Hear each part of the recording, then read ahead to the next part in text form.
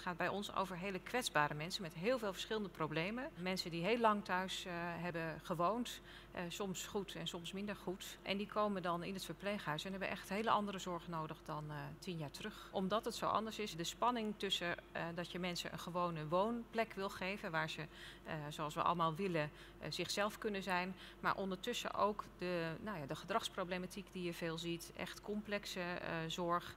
Um, waar echt ook behandeling uh, belangrijk voor is. Dat kan je als verzorgend team niet alleen. Het is echt heel belangrijk dat we de verbinding zoeken tussen het behandelteam, met de ergotherapeut, de logopedist, de diëtist. En wij doen dit al uh, 25 jaar. Wat zou nou jouw boodschap zijn? Als je wil leren op de werkvloer, want daar moet het gebeuren.